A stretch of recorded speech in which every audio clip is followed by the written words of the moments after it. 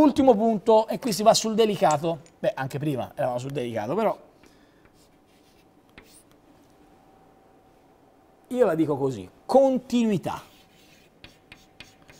Che vuol dire continuità?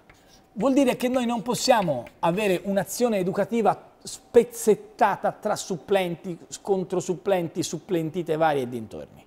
Ecco perché questo governo sceglie di assumere solo quest'anno 100.000, più di 100.000 persone che avevano acquisito il diritto ad essere assunte e a cui lo Stato eh, non aveva mantenuto la parola perché non le aveva assunte, sono i cosiddetti, sono una parte dei precari, i precari sono di più, ma sono quelli delle graduatorie a esaurimento, quelli che hanno vinto un, che hanno un titolo, per, avendo vinto un concorso, le scuole di specializzazione.